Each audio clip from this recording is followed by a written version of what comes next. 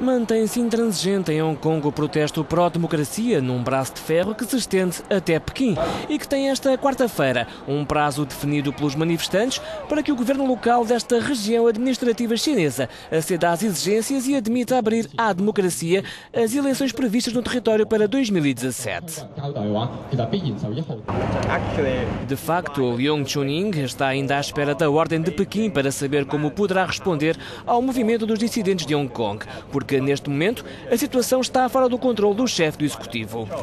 Os manifestantes exigem a demissão de Leão como ponto de partida para negociar, mas o atual chefe do executivo recusa e reafirma as orientações de Pequim, sublinhando que qualquer alteração ao sufrágio tem de passar pelo Comitê Eleitoral e não pela população. Em causa estão os candidatos a chefe do executivo regional. Os estudantes pretendem garantir que o povo possa apresentar nomes. A China anunciou a intenção de apenas abrir o sufrágio a candidatos nomeados por Pequim. Londres mostra-se preocupada. O vice-primeiro-ministro britânico apela a eleições democráticas em Hong Kong e já solicitou uma reunião de urgência ao embaixador chinês.